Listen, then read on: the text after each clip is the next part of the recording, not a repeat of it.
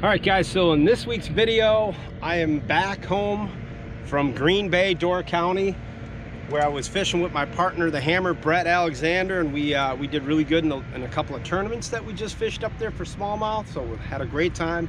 But I'm back home fishing one of my favorite lakes. Now, I don't know how long I'm gonna be able to fish today because they're calling for thunderstorms this afternoon. I got about a half a day to fish. And what I'm gonna do is I'm gonna go fish for some bluegills. And I want you to leave me a comment down below. Do you think Wisconsin, we have a limit right now of 25 bluegills per person. Do you think a select handful of lakes, like a couple of these Madison chain lakes, should be brought down to 10 or 15? Like I'm in favor of that. I love big bluegills. I love catching big bluegills. Um, and I'm gonna show you the rig that we're gonna use. But the great thing about the Madison chain is this.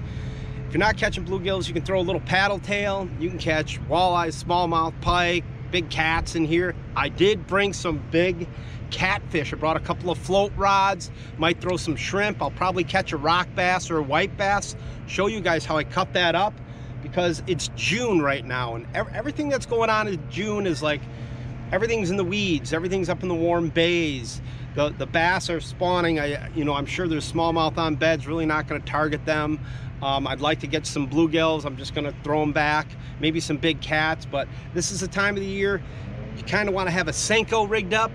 You know, weightless Senko if you're gonna fish um, up in these weeds and it's calm like this. Um, on this chain, there's big cats, so I'm gonna catch a rock bass or something, use that for bait. And then panfish, four pound test fluorocarbon leader, little tiny float here. I got a two-way swivel. I've got five pound braid. Uh, I've got sirens going off right here, but I've got a St. Croix panfish rod, five pound braid, and the Piscifun Carbon X 1000. The reason I like the 1000, smaller reel than the 2000, super smooth drag, really affordable. If you guys have not checked out any of the Piscifun reels, some of the bait caster, I've got a bait caster here. They've got trolling reels, bait casting reels, um, spinning reels, backpacks, all sorts of types of different types of rods and gear. So check out Piscifun. Use my code EH15 in the link below. You can save yourself 15% on any of their reels, gear, any of that good stuff. So I'm gonna run around, look for some fish, start fishing. Here we go. All right,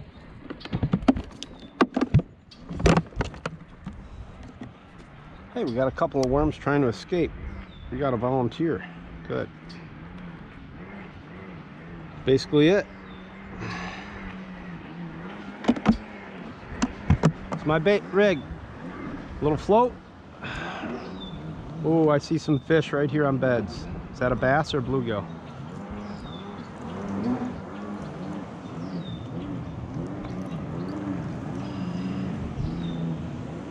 Is that a gill? Oh yeah, that's a gill.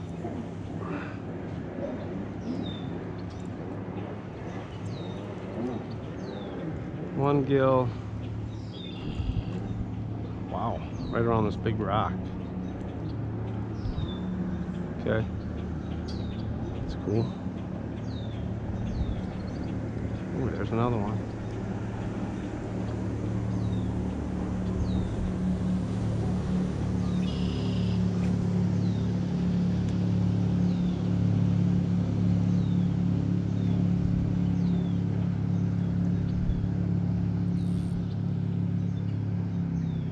Oh, there goes the float. There it goes.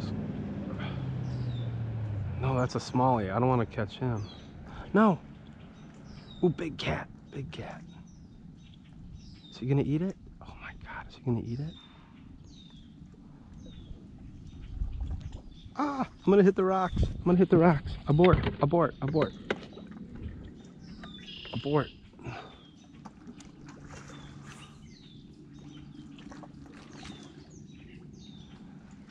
some nice gills here.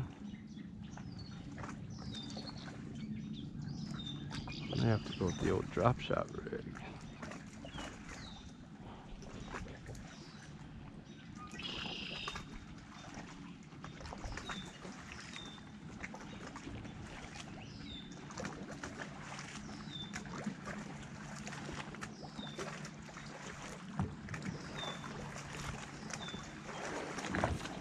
Got him. Ooh, nice gill. Oh boy, it's a nice one. Oh, come on, come on. No, no, what did I hit? I hit the remote. It's a big gill. Yeah. That's a nice big gill. Oh yeah. They're so beautiful. Leave me a comment. What do you guys think about bluegills that are spawning? Oh, there he goes. Perfect. That was about a nine, maybe a 10 incher. Do you think? I mean, I almost think they should have the month of June like a 10 fish pan. I don't mind people keeping them. Keep what you want, eat what you want, to each their own. But I do feel like when they're spawning, would be nice if the limits were like 10. All I would need would be 10. I'd be good with 10. My float's under. Got him. Made an adjustment. Ooh, big gills. Nice gills. Fun, fun, fun. Ooh, look at the bass chasing him. He's like, get away from my bed. Get away, get away, get away. Whoa, whoa, whoa, what happened? What's going on? All right, number two. Those are beautiful big gills, guys, look. Beautiful. Gonna let them go right back. These are the most important fish to release anyways. I mean, what are you supposed to do? Not fish in the month of June when the fish are spawning? I mean, to each their own. There you go. See you later, buddy. All right, I'm gonna drop down right over the side of the boat. Oh, oh. He's interested. Come on, come on. Got him right under the boat. Ooh, big one too. Wow, bigger than I thought. Whoa, whoa, whoa, whoa, whoa, whoa, whoa, whoa, right under the boat. Four pound test, big gills. That's a nice gill. Finally caught one. And again, look at that. That's a nice bluegill. What I've got is just a, a drop shot. My weight just fell off, but there's two ways I, I catch them. One is a, a drop shot, which is a tiny hook and a red worm and sinker on the bottom here. And I snell that hook. Let's take that worm off. And I'll just show you real quick. Kind of hard to see, but take the worm. I hook it through the head once or twice, even if it's chewed up. Red worms kind of stay on there one, two, two or three times right through the head. And then uh, I tie on a little drop shot weight here four pound test drop it right in there and shake it there's a nice gill right here all right. See if we can get them to eat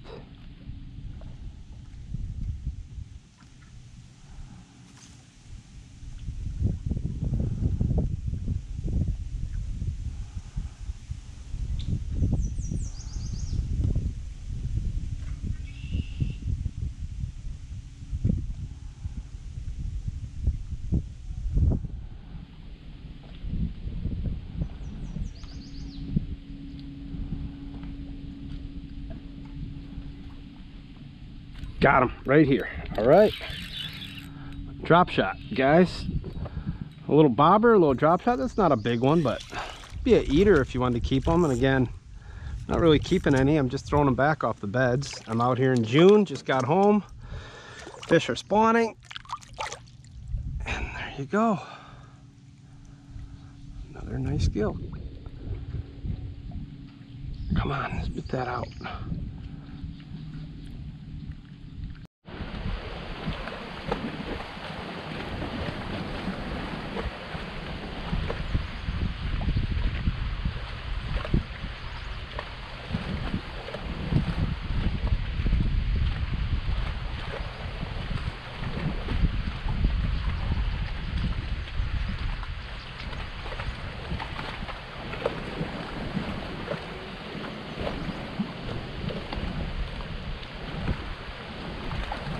Got him. Oh, it took forever to get that one.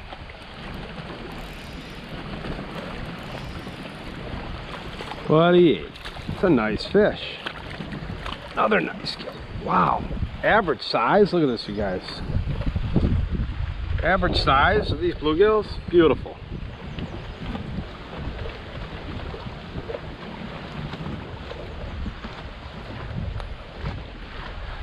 Oh, there you go, buddy. We'll make some more babies.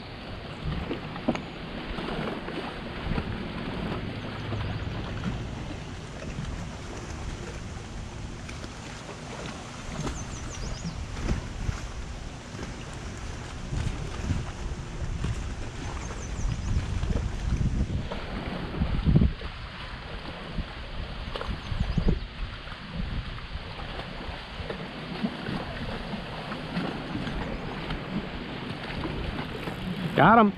All right. Lots of bluegills today. Drop shot's definitely the way to go.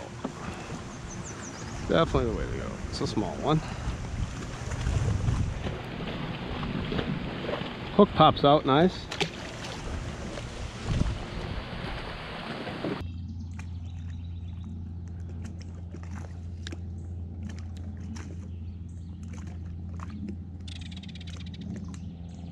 Got him right here.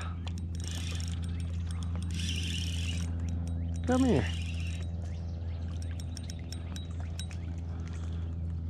Beautiful, beautiful gills. Go back and finish spawning.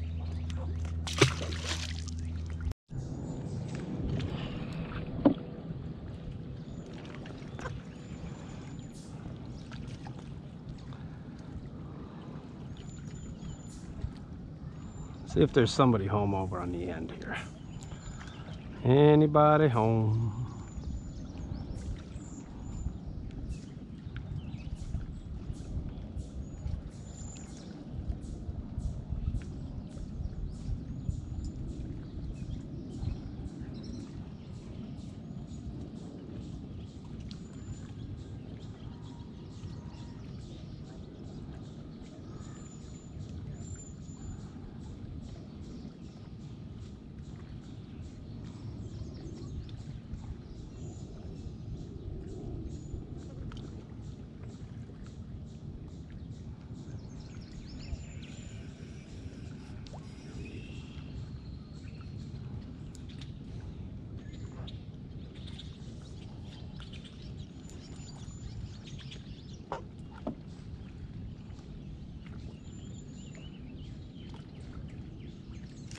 Got him. Oh, that's a big gill.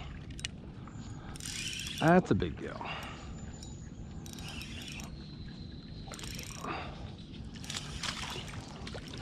Oh, nice and fat. Look at this. Wow. Wow. Wow. They're just so tall. You know, they're so tall, wide, thick.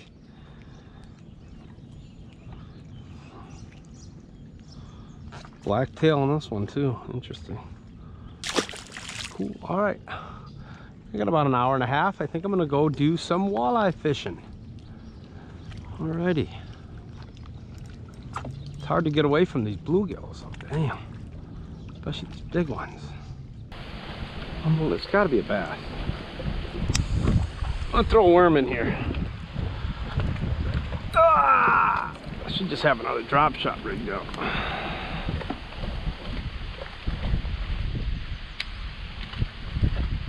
Want to show you guys, sometimes pretty easy. Just have a Senko rigged up. You want to catch some smallies, you can catch smallies right here with them. He's got it. Got him right there.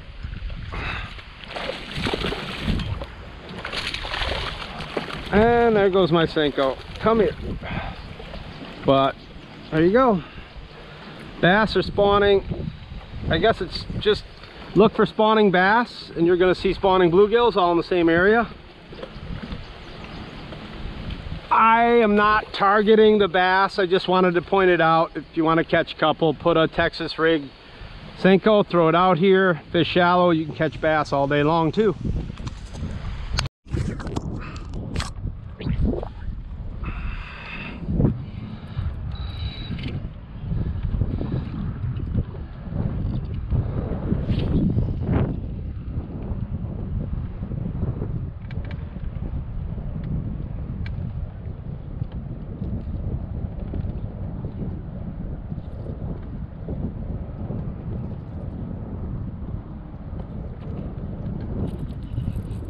God, the white bass will not leave it alone.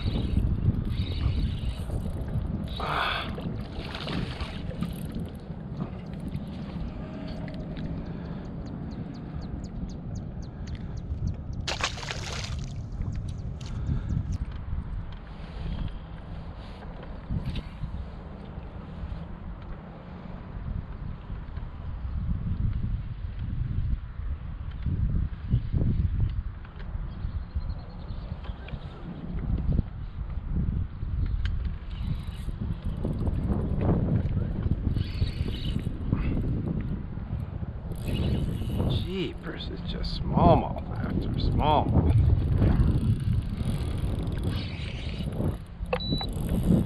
Look at them all right here, guys. See this? Them all right here with them? Look, the whole school. Whole school and other fish right down here. Right in the weeds. Put on spot lock and then just cast right there. If I want to catch smallmouth like this all day long, which is fun. You don't need bait. Anywhere I go, I can throw these paddle tails like this. This is a post-spawn fish already. He's off a bed. Nice fish.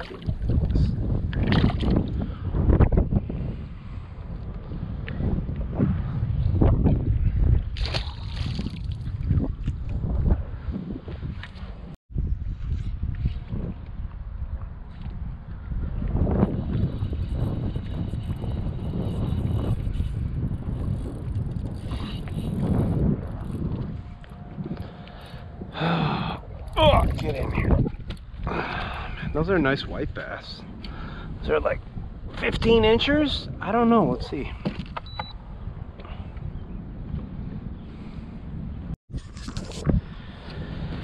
All right, we're just gonna see for reference how big these white bass are. Close his mouth, don't jump on me. And 15 and a half, almost 16 inches. So just shy 16. That's fun. Fun, fun, fun. There he is. Ooh, oh, oh, okay. Ooh, nice perch. That, now that, oh, and I got a tangle. This is why you don't bring a catfish rod. Nice perch. Perch going poo-poo.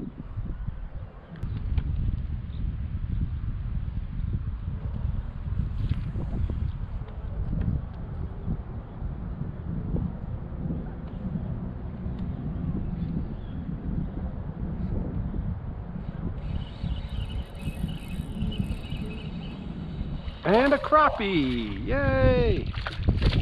Hey, look! Oh my God, he's got he got attacked. Everything eats a paddle tail. Looks like a pre-spawn female almost. I don't know, but she's nasty. Let her go.